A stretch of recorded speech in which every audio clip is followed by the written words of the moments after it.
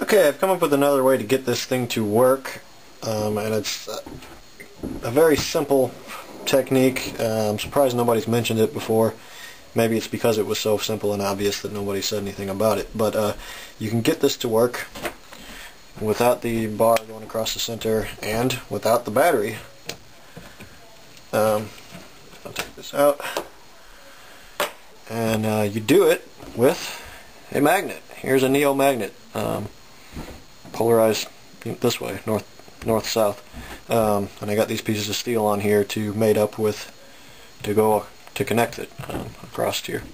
So uh, basically, you see and uh, watch the LEDs over here. It it has the same operation as it does with the battery. So I'm going to put it on. It's on there. Now it's holding. I mean, it's it's operating the exact same way as it did before uh, while I was using the battery. Here, I'll rip it off and watch the LED. You'll see the field collapse and it come out of there.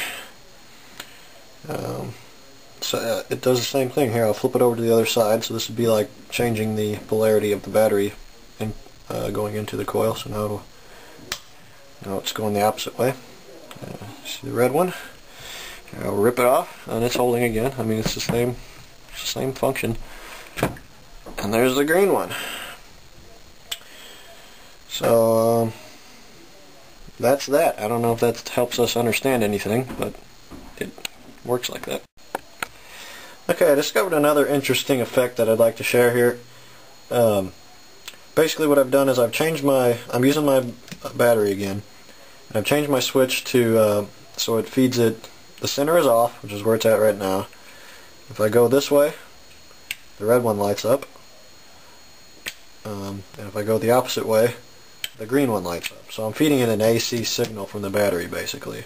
Or I'm flip-flopping the polarities between either side of the switch.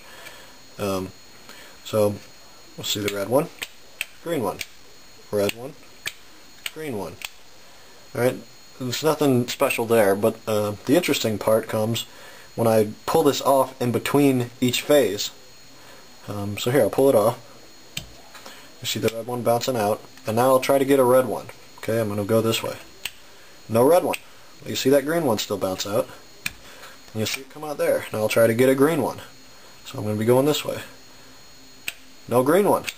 But you still see the red one bouncing out. There, see it'll still collapse out. Now I'll try to get a red one go going in. No red, but you still see the green bouncing out when I turn the switch off and when I collapse the field. Try to get a green again. No green the red still comes out. Um, and hopefully the YouTube uh, downloads all these lights correctly so you can understand what I'm saying.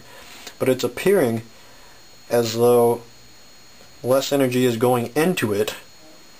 In other words, the LED is not lighting up going in.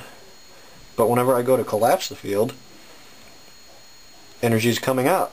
So it appears like less energy is going in than is coming out.